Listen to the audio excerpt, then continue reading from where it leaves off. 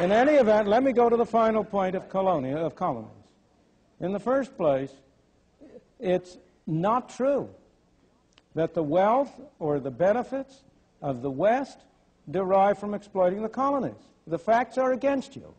The reason why you say that is because it is so hard for people to get out of the notion that life is a zero-sum game.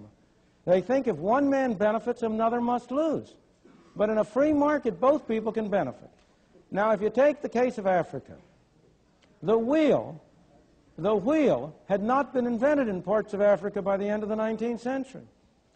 The number of people in Africa and their average conditions of life in Africa have, been enormous, have grown enormously as a result of their contacts with the West.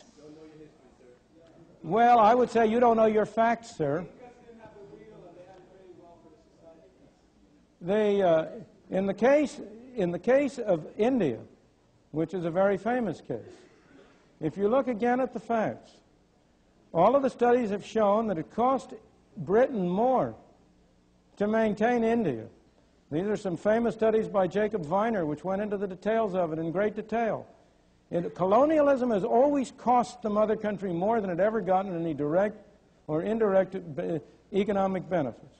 So far as India was concerned, the history of India is divided into three periods. The period of British rule in the 19th and early 20th century, when there was very real progress in the standard of life of the people of India.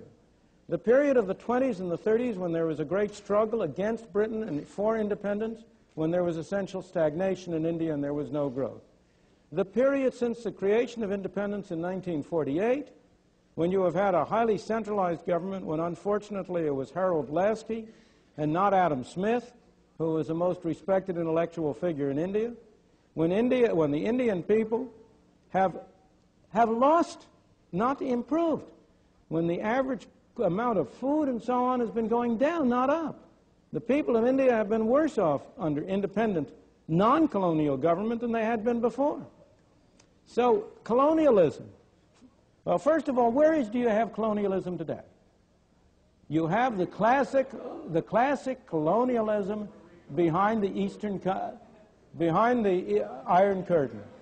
You have Russia, which is a master country. I mean, uh, not the Union of Socialist Soviet Republics, but Russia, which is a master country with a great colony around it within the Soviet Union, in Poland, in Czechoslovakia, in Hungary. That's the great uh, example today of your classic kind of colonialism. The United States, with trivial exceptions, has never been a colonial country. It did have Philippines.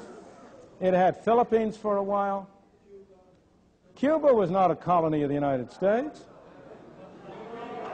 In any event, in any event, you need a sense of proportion.